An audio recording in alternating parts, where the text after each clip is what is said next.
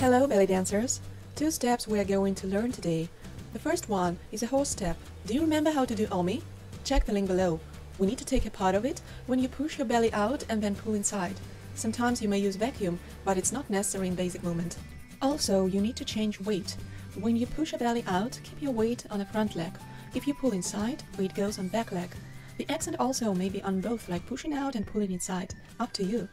Also, when you go to the right, for instance, and your accent is on pulling belly inside, your right leg should be back. If the accent is on pushing the belly out, the right leg will be front. It's just more comfortable. To the left, it works like a mirror. The cross step looks very similar to walking step. Check the link below. The steps are just smaller and closer. One leg always goes front or back, doing cross. In walking step, we don't do cross.